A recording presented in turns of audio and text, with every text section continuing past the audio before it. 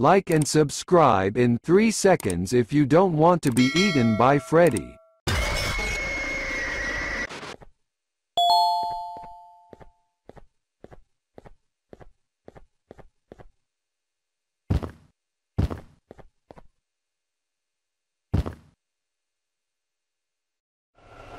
What's the plan now, Stinger?